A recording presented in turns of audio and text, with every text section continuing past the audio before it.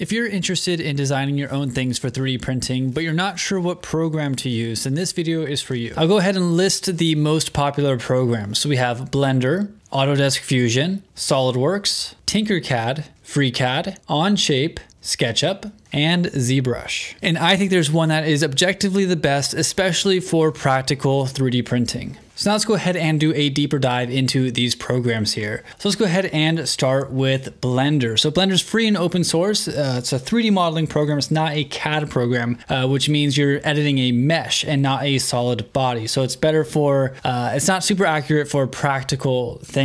Uh, it's good for animation and some would say it has a steep learning curve. So the benefit is it's free, completely free and open source, uh, but it could be moderately difficult to get the hang of, but it's available for Windows, Mac, and and Linux. So let's go ahead and move on to Autodesk Fusion here. So Fusion is a powerful CAD program, fairly powerful. It could, once you get really big uh, designs, it could start slowing down. But it's completely free for personal use with some limitations, which aren't really that limiting, uh, in my opinion. Uh, so basically, Fusion 360, very powerful, free for hobbyists. It's moderately difficult. It's actually not as difficult as people think, and it's available for Windows and Mac. So now if we go to SolidWorks here, go back to the SolidWorks page. Uh, so it's more of a professional program, but they are going into the hobbyist market. So they have a, relatively affordable uh, license you get for hobbyists, uh, but it's not free. They do have a free trial though. And uh, it's a little bit more difficult to use. However, uh, that difficulty gives you a little bit more power with your designs and it's more performant as well. Fusion 360 kind of bogs down with huge designs, uh, but SolidWorks, uh, it's, it's a little bit, um, uh, the, the program itself uh, runs faster. Um, but a huge drawback, at least for me, because I have a, a, a MacBook Pro, it's only available for Windows. Now let's go ahead and move on to Tinkercad here. So Tinkercad, as you can tell just by looking at the web page here, it's very beginner friendly, browser based. The only drawback, or it's a huge drawback actually, is you don't get that much control of your design. Uh, you can see even their example project here in the front is all just kind of made up with basic shapes. So technically easier to use, but you can't really do much with it, which I personally think makes it more difficult to use. Now let's go ahead and move on to FreeCAD, another open source uh, CAD software. Uh, it has a strong community, but it does have a relatively steep learning curve. It's not that easy to use. So compared to uh, Fusion 360 or Autodesk Fusion, it's a lot more difficult, but it is free and open source. So there's kind of the trade-off there. Um, steeper learning curve, free. I would say moderately hard. Uh, also available on Windows, Mac, and Linux. Let's go on to Onshape here. So Onshape is a, uh, they're all kind of, a lot of them are now cloud-based. So another cloud-based CAD software and does have a free uh, personal use version, but it does require internet. Uh, so free for non-commercial use. Uh, also moderate, uh, maybe somewhere between Autodesk Fusion and SolidWorks, uh, but it is web-based, which I guess could be good or bad. Uh, let's move on to SketchUp here.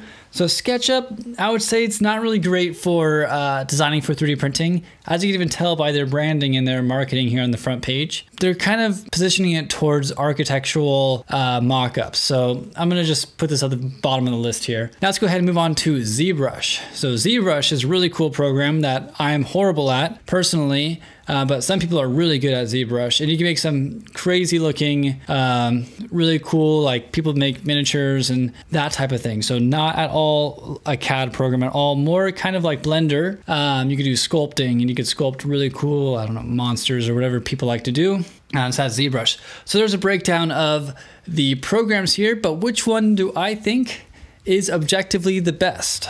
All right, now let's go ahead and compare them on this chart here. So here we have a chart and we have the capabilities over here from weak. So the lower it is, the weaker it is. And the most, uh, the higher up we go, the more powerful the program is, the more capable it is. And the further we go to the left, the more difficult the program is. And the further to the right, the easier, it's easier to use the further we go to the right. Okay, so let's go ahead and start with Blender. So Blender is not easy. It's relatively difficult, yet it's very powerful. Probably one of the most powerful and performant programs on this list. Moving on to Autodesk Tinkercad, Tinkercad, excuse me.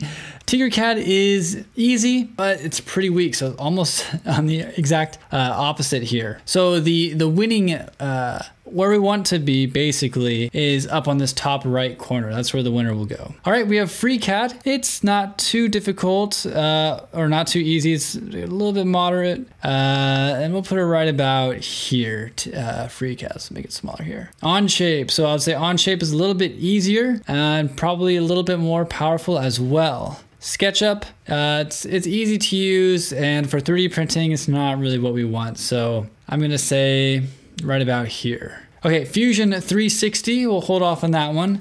Let's go to ZBrush. So ZBrush uh, is very difficult. It's more specific for sculpting, uh, but it is, uh, I'm gonna put over here. It's like so difficult all the way over here, but it's also very powerful, but it's very niche specific for sculpting. Uh, okay, so Fusion, where should we put Fusion? Fusion is I would say it's actually pretty easy and it's also decently powerful. Now I noticed there's no uh, SolidWorks on here, so I have to add SolidWorks. So SolidWorks, add that here. So we have SolidWorks, not the real logo, obviously. Uh, SolidWorks is a little bit more difficult, but probably a little bit more powerful than Fusion and Onshape.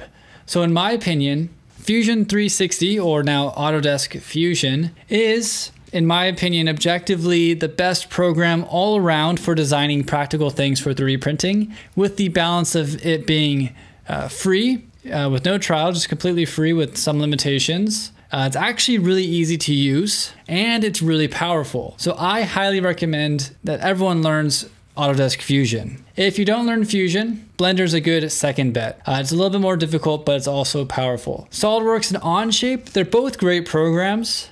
I personally think Autodesk Fusion and Blender are better choices. And ultimately, if you had to pick, I would pick Autodesk Fusion. Now, if you want to learn more about Autodesk Fusion, I have tutorials on this channel. Um, and if you want a huge uh, deep dive with a bunch of lessons, completely comprehensive, I also have a Autodesk Fusion 360 masterclass. So go ahead and check the links in the description um, for all of that uh, the free tutorials on YouTube, as well as the masterclass video course, um, which is very comprehensive. Uh, it'll just jumpstart your learning with uh, Autodesk Fusion. I use Fusion to design all of my stuff. Highly recommend, great program. So you don't need to get overwhelmed with all the different options.